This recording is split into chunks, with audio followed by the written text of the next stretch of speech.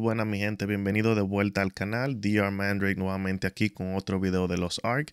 El día de hoy le voy a estar hablando acerca de unos cuantos detalles y unos cuantos consejos y unas cuantas aclaraciones con respecto al nuevo Legion Raid que va a venir a final de este mes de septiembre, Kakul Saidon.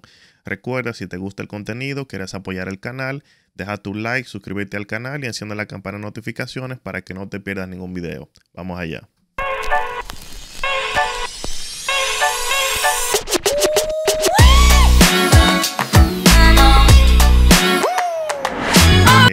Hace unos cuantos días me encontré con este post en Lost Ark Reddit eh, con respecto a unos cuantos detalles de Cool Sidon y quería eh, lo que es desglosar esto con ustedes ya que está en inglés y alguna gente, algunas personas no lo que se entienden el idioma, así que quiero hacer que repasar este, este post que pusieron aquí en Reddit y aclarar unos cuantos detalles para ustedes con respecto a eso, así que vamos arriba. Aquí veo, como ustedes saben, ya a final de este mes, en septiembre, tenemos esperado, ¿eh? si Amazon no decide retrasarlo un poco más, tenemos esperado ya que llegue el nuevo Legion Raid, Kakul Saidon. Este Legion Raid es un Legion Raid de cuatro personas, así que va a ser compuesto por 3 DPS y un support, es lo esperado. Así que a menos que ustedes quieran jugarlo en modo infierno y hice 4 DPS, lo más probable va a ser así. Este, lo que es Legion Raid, lo que es, nos va a dar a nosotros lo que son unos artefactos, que son unas trompetas, para hacerle una mejoría lo que es a nuestro equipo. Eh, con respecto a lo que es, primero quiero hablar acerca de la dificultad de este Legion Raid. Hay mucha gente, muchas personas diciendo que este Legion Raid es mucho más difícil que Vaikas, que eso va a ser muy difícil, que hay que ser level, interlevel 1500, y eso no es así. Los coreanos comparan este contenido de Kakul Saidon con lo que es la misma dificultad que es Baikas, Baikas Hard. La única diferencia es que en este Legion Raid no son 8 personas, son solo 4. Así que hay un raid, las 4 personas tienen que estar jugando on point, súper bien. Aquí veo que unas cuantas cosas que esta persona, eh, Sibo, lo que es pone aquí, déjame ponérselo un poco más grande, pone unos cuantos detalles aquí con respecto a este Leon Raid. Ahí él habla, el raid es de 4 jugadores, tiene 3 gates esta pelea, en level 1475. Solamente hay modo normal, no hay eh, hard mode ni normal, solamente hay un solo eh, modo que es el normal eh, hay un modo que va a salir que es un modo de ensayo, rehearsal mode, que es de práctica, que lo pueden acceder estando en 1385. Algo muy importante que deben tener en cuenta es que tanto como lo es Baikas y Baltan, eh, el modo normal y hard comparten el mismo lockout. Quiere decir que si ya hicieron el modo normal, como en Baltan, si hicieron el modo normal, no pueden hacer el hard. Esto mismo ocurre con el modo ensayo del payaso de Kakul. Así que tienen que tener cuidado si pretenden entrar a practicar este Legion Raid primero, como ya eh, pueden accederlo y no van a poder hacer el Legion Raid de 1475. Así que mucho cuidado con eso. Mi recomendación es, si desean hacer ese contenido, lo pueden hacer con uno de sus alts y así entran con el main y hacen el raid principal de 1475. Una cosa, un detalle es que el modo de ensayo, el rehearsal, no le da oro. Eh, lo que le da son unos tickets que ustedes pueden intercambiar en un NPC por unos cuantos eh, materiales para hacer honing. Así que esto es solamente para ensayar y hay una fase del Legion Rey que no se encuentra en el modo ensayo. Así que si ustedes desean hacerlo, lo hacen con un alt eh, no es necesario hacerlo 100% y los ítems que le dan son eh, roster bound, o sea que lo pueden combatir con el roster completo, no solamente se le van a quedar con el alto. Aquí veo que él habla aquí, Sibo habla, da unos pocos más detalles, dice que es recomendable tener 5 grabados al level 3 y gemas level 7. Aquí veo es que eh, esta recomendación él la da, pero eso es solamente considerado para si usted va a jugar con POX, o sea, si va a jugar con randoms, eh, buscando en el matchmaking o en el party final. Si tiene una estática, eh, se puede hacer con cuatro grabados al nivel 3. Obviamente va a ser mucho más difícil, pero se puede hacer clear. Esto es como los mínimos requerimientos que él está poniendo para cuando para usted ser aceptado, para que sean aceptados en los grupos de siendo DPS, claro. Un support puede ir con cuatro grabados al nivel 3.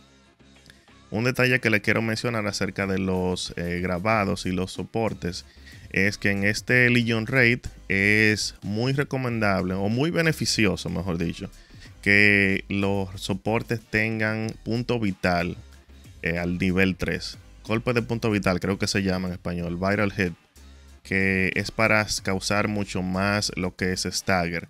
En este Legion Raid hay ciertas fases donde se va a hacer un stagger de solamente dos personas. Y si el DPS queda atrapado y el soporte queda solo, no va a poder hacer el stagger a menos que tenga el viral hit point al nivel 3. Si tiene este viral hit point al nivel 3, puede hacer solo el stagger y salvar prácticamente el raid de una mecánica de wipe.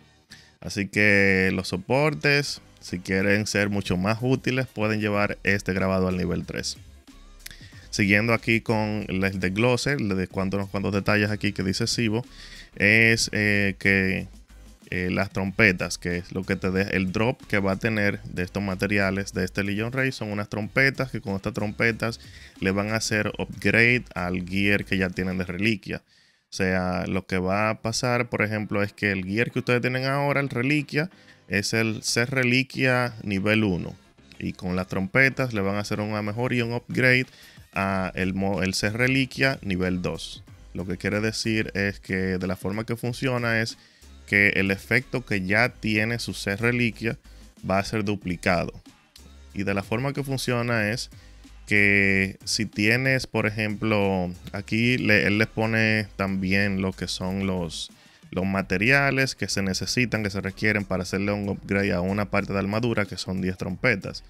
Aquí veo que de la forma que esto funciona, funciona igual que los otros sets, los 6 reliquias también, es que si tienes dos eh, armas, dos armaduras, por ejemplo, los guantes y el casco, por ejemplo, eh, lo que es upgradeado ya, lo que es con las trompetas, con el nivel 2 del set de materiales de Kakul, lo que va a pasar es que tu set de dos piezas, el efecto de dos piezas que tiene tu set, va a ser duplicado al nivel 2. Por ejemplo, el set de Nightmare te duplica, te da como un 12% en las habilidades. Entonces, en vez de un 12%, el efecto de dos, de dos piezas, va a ser duplicado, va a ser un 22%. De esa manera es que funciona eh, este set, este, este nuevo sistema de mejoría, para que tengan un, mejor entendimiento de cómo funciona.